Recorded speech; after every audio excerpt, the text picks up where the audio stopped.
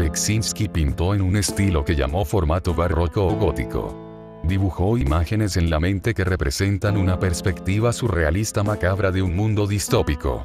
Sus pinturas representaban sangre, esqueletos, horror, amor, infierno y muchos aspectos oscuros de la vida y la muerte. Creando gran admiración en aquellos a los que les gusta el arte espantoso de una naturaleza sangrienta e imaginativa más allá de los reinos de la realidad.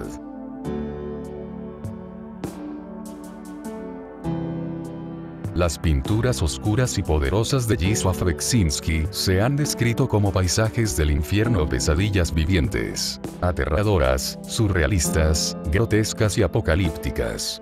Su trabajo se ha comparado a menudo con el de los grandes maestros europeos del arte oscuro, H.R. Giger y Hieronymus Bosch. Se podría decir que Beksinski estaba explorando los rincones más oscuros de su mente a través de pinturas, fotografías y esculturas que rivalizan con las representaciones artísticas más extremas del infierno, con un montón de imágenes inquietantes, copiosa sangre y esquemas de colores melancólicos. Quizás su arte oscuro y distópico pueda atribuirse en alguna parte a las circunstancias de su infancia. Beksinski nació en 1929 en Sanok, una ciudad en la esquina sureste de Polonia, donde experimentó de primera mano la ocupación nazi y los horrores de la guerra a una edad temprana.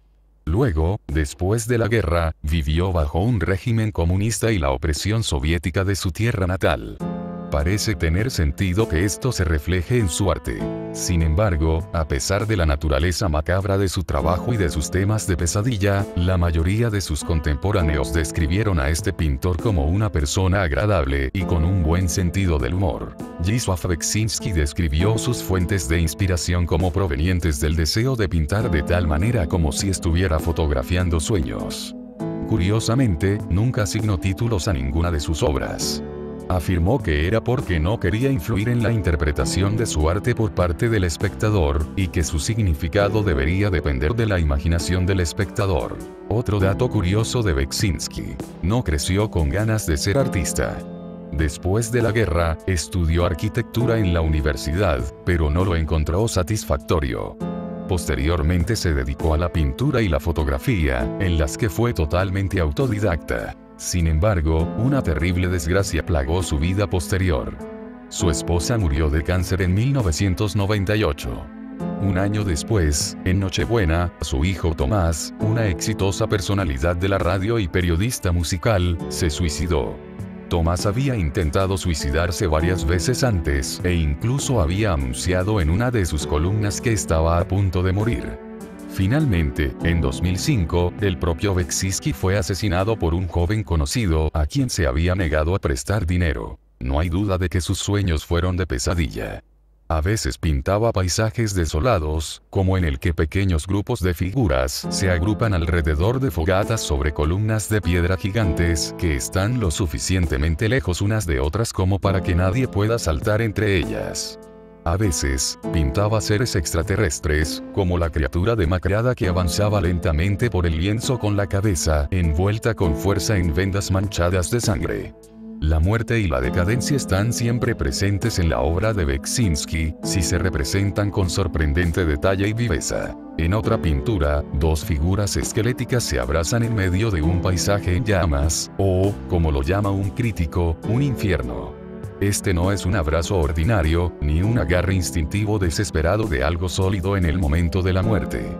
Este es el tierno abrazo de dos amantes, o, tal vez, de un padre y un hijo, con el esqueleto más alto acunando el cráneo del otro.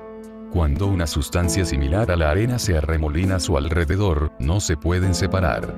Aquí, las imágenes distópicas intensifican la compasión, por accidental que pudiera haber sido. Incluso un entorno tan horriblemente opresivo no puede superar el instinto humano de amar. Quizás el más impresionante aquel donde se puede ver un edificio vacío bajo un cielo estrellado, que ha sido habitado, de alguna manera, por una imagen de la escena de un bosque.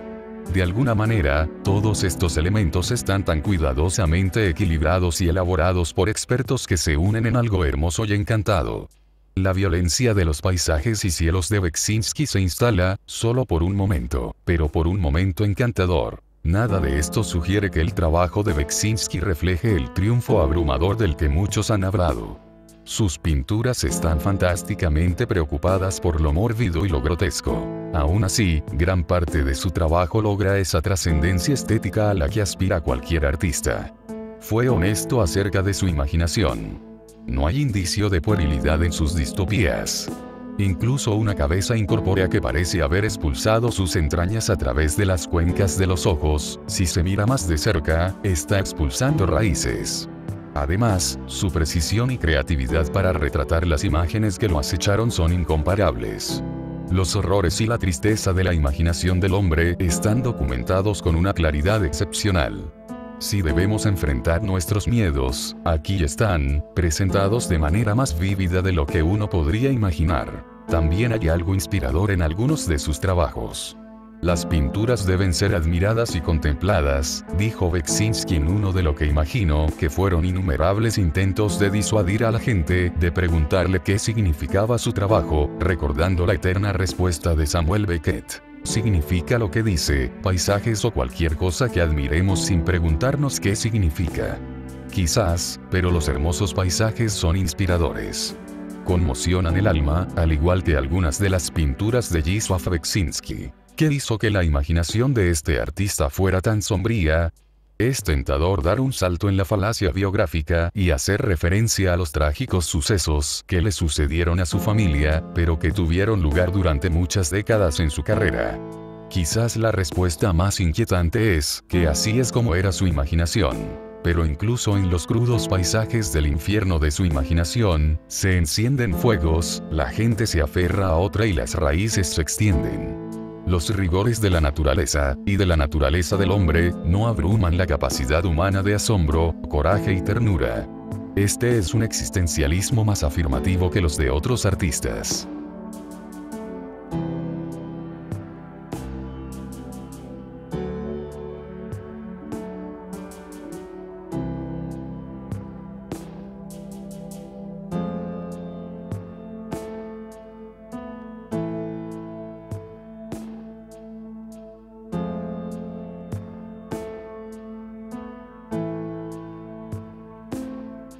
Si realmente te gustó el video te pido que me regales un like, lo compartas con algún amigo y te suscribas a mi canal para seguir compartiendo temas similares. Gracias.